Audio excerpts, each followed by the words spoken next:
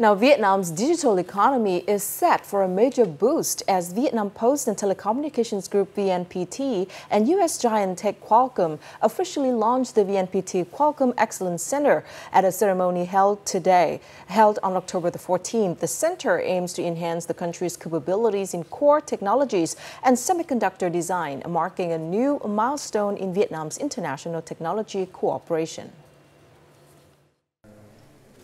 Through this collaboration, Qualcomm brings decades of global experience in wireless innovation, chip design, and AI computing. VNPT contributes local expertise, infrastructure, and a vision for national digital transformation.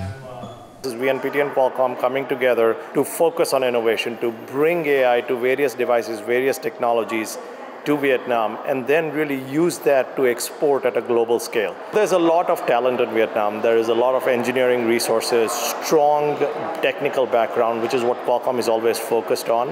And so uh, this is our opportunity to participate in it, take advantage of it, but also bring a lot of technologies to the country so that it gets deployed at scale.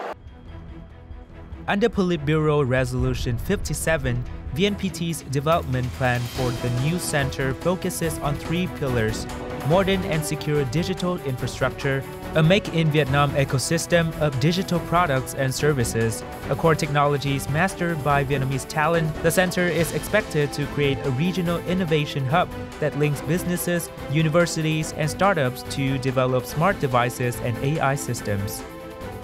VNPT is stepping up efforts to develop core technology platforms and the Internet of Things. In partnership with Qualcomm, we aim to create Vietnamese products built on Vietnamese technology, made in Vietnam, made by Vietnam. This initiative embodies the party's vision under Resolution 57, promoting self-reliance and innovation.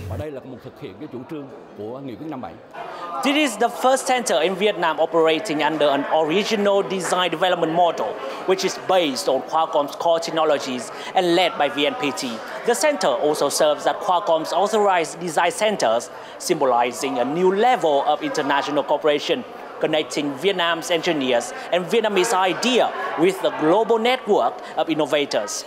Thành Trung reporting for Vietnam Today.